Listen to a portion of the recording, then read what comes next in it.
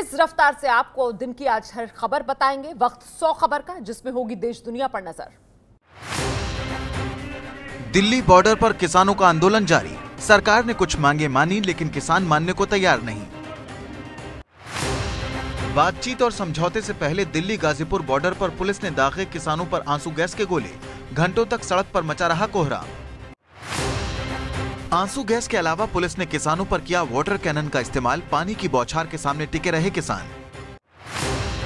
आंदोलन को रोकने के लिए किसानों पर पुलिस ने भांजी लाठियाँ, दिल्ली यूपी बॉर्डर पर की गई कार्रवाई अहिंसा के पर्व के दिन बहा किसानों का खून, पुलिस की कार्रवाई में कई किसान घायल।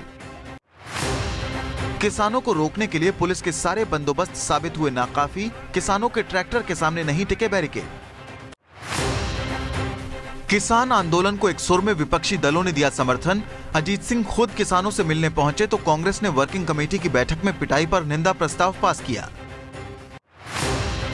मध्य प्रदेश में किसानों ने किया भूमि संसद का आयोजन। एकता परिषद के बैनर तले दिल्ली के लिए जल्द करेंगे कूच, एसपी कांग्रेस ने दिया है समर्थन।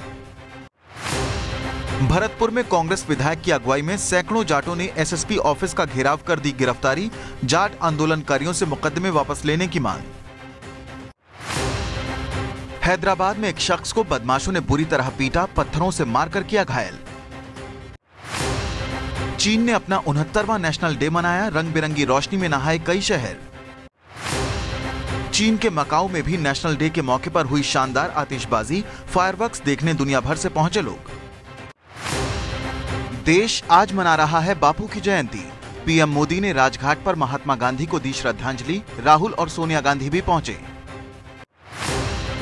अहमदाबाद के साबरमती आश्रम में बापू की 150वीं जयंती धूमधाम से मनाई गई।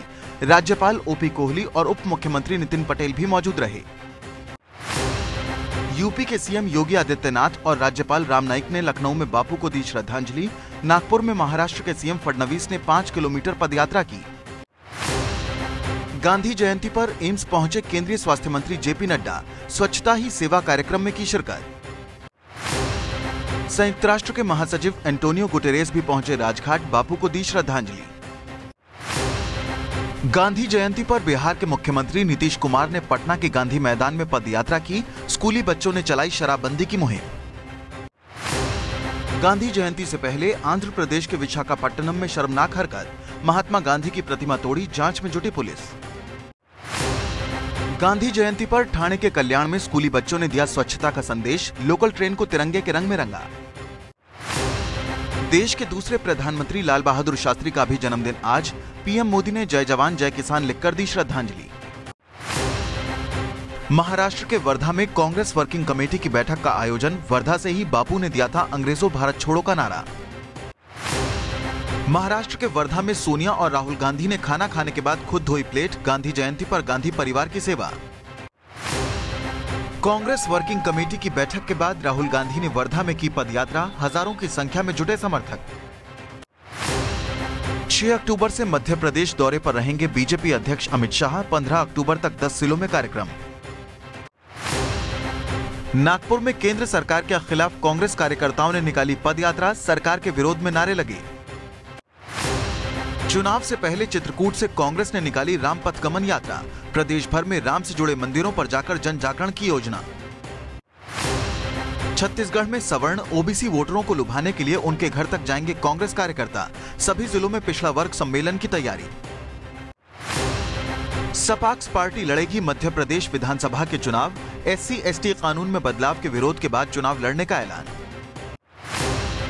बीजेपी नेताओं के खिलाफ बजरंग दल का हवन कार्यक्रम, कहा राम का नाम लेकर सत्ता में आए, लेकिन राम मंदिर को भूले। कर्नाटक के बेलगावी में कांग्रेस नेता के समर्थकों की दबंगई कॉलेज फ़ंक्शन में ना बुलाने पर वाइस चांसलर को पीटा और तोड़फोड़ की। पुडुचेरी में उपराज्यपाल किरण बेदी और एआईएडीएम के विधायक के बीच नोकझोंक, सार्वजनिक कार्यक्रम के दौरान माइक बंद करने पर हुई बहस। पाकिस्तान के मंत्री ने भारत को दी न्यूक्लियर हथियारों की गिदड़ भपकी। कहा, भारत की वजह से बने हैं युद्ध जैसे हालात। जम्मू कश्मीर में 15 आतंकियों का वीडियो सोशल मीडिया पर वायरल। सेना सूत्रों के मुताबिक इन आतंकियों ने पुंछ में घुसपैठ की थी, फ़िलहाल बडगाम इलाके में छुपे हैं।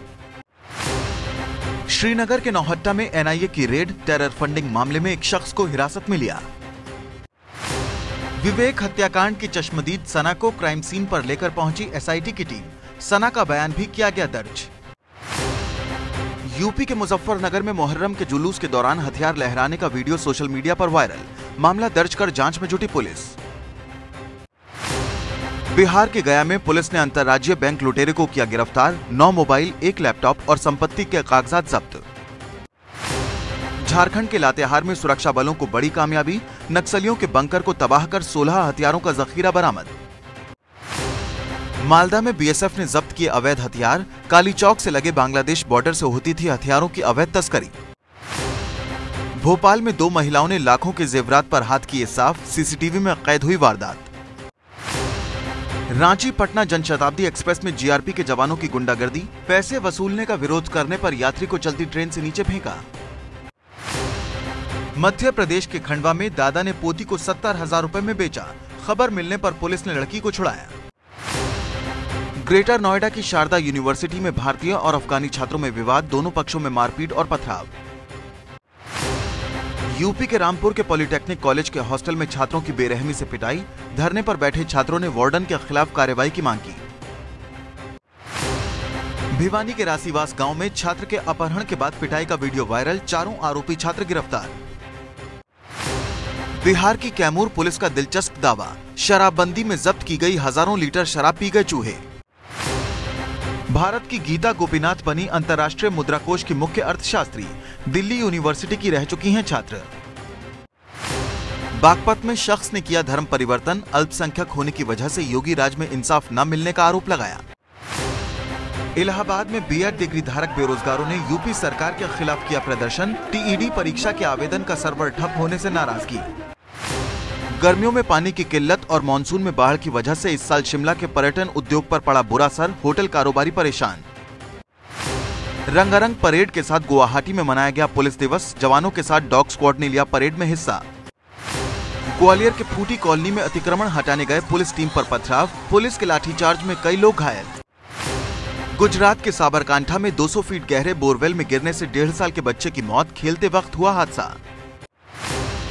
गुजरात के गिर के जंगल में 18 दिनों में 21 बब्बर शेरों की मौत से सनसनी, वन विभाग के मुताबिक आपसी लड़ाई में गई जान।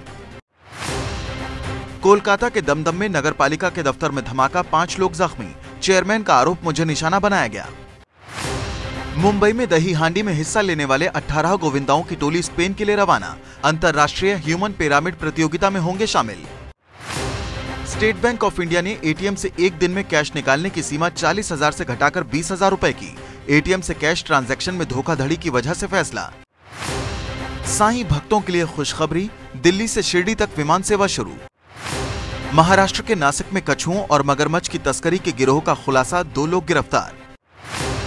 कोल्हापुर के महालक्ष्मी मंदिर प्रबंधन की भक्तों से अपील, छोटे कपड़े ना पहनकर आए मंदिर में भक्त।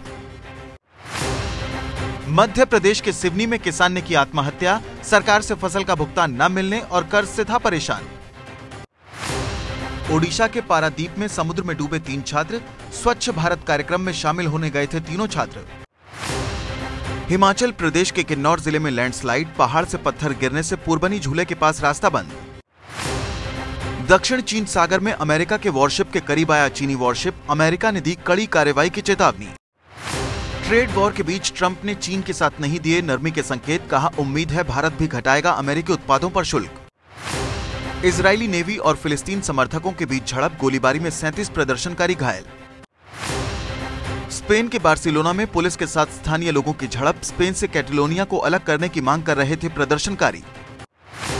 इंडोनेशिया के सुलावेसी आइसलैंड पर पेट्रोल डीजल के लिए लगी कई किलोमीटर लंबी कतार, भूकंप और सुनामी के बाद से बाधित है ईंधन सप्लाई। सैटेलाइट से ली गई तस्वीरों में देखी जा सकती है इंडोनेशिया की बर्बादी। शुक्रवार को भूकंप के बाद आई थी सुनामी। इंडोनेशिया के रिलीज़ ऑपरेशन में जुटे भारतीय वायुसेना के जवान, टेंट जनरेटर और दवाइयों के साथ सैंतीस मेडिकल टीमें पहुँची। अर्जेंटीना में समुद्र तट के पास फंसी 10 मीटर लंबी वेल, दो दिन बाद करीब 30 लोगों की मदद से निकाला गया। ये है एबीपी न्यूज़ आपको रखे आगे।